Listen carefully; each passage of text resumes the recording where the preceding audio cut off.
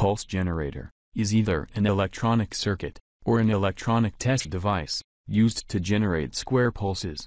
Pulse generators are mainly used to work with digital circuits, while generators of related functions are mainly used for analog circuits.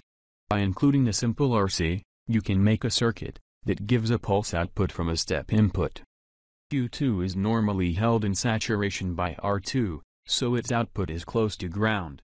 Note that R2 is chosen small enough to ensure Q2's saturation. With the circuit's input at ground, Q1 is cut off, with its collector at plus 5 volt. The capacitor C1 is therefore charged, with plus 5 volt on its left terminal, and approximately plus 0.6 volt on its right terminal, so it has about 4.4 volts across it. So to generate the pulse, the circuit is waiting for input step.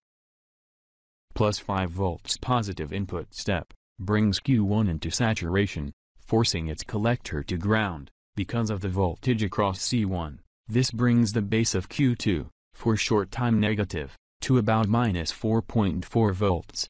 Q2 is then cut off. No current flows through R3, and so its output jumps to plus 5 volts. This is the beginning of the output pulse. Now for the time constant RC, C1 can't hold Q2's base, below ground forever, because current is flowing down, through R2, trying to pull it up. So the right terminal of the capacitor, charges toward plus 5 volts, with a time constant tau equals R2 times C1, here equal to 100 microseconds.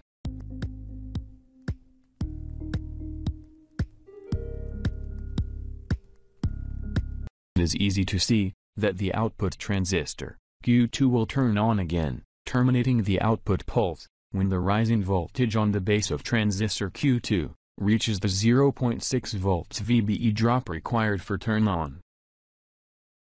This circuit or the duration of the pulse requires the input to remain high, at least for the duration of the output pulse.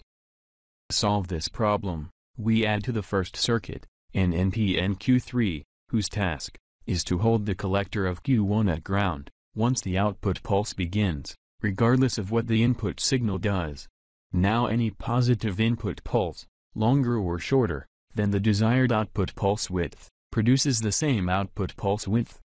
The second problem is, for the output pulse, to turn off takes somewhat slowly. That happens because Q2's base voltage, with its unhurriedly, 100 microseconds RC time constant, rises relatively slowly, through the turn-on voltage threshold, of approximately 0.6 volts. This problem does not occur at the turn-on of the output pulse, because at that transition, Q2's base voltage drops abruptly down to approximately minus 4.4 volts. So now the solution is to add at the output a circuit, known as a Schmitt trigger, shown in its transistor implementation. When the output pulse of the previous circuit is positive, the input to this new Schmitt circuit is near plus 5 volts.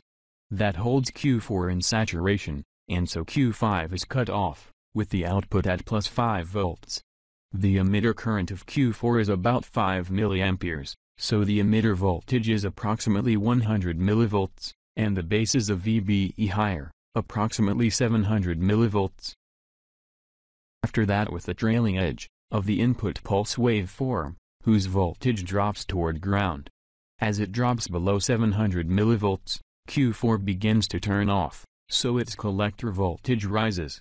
Here, the collector resistor R7 supplies current to Q5, putting it in saturation.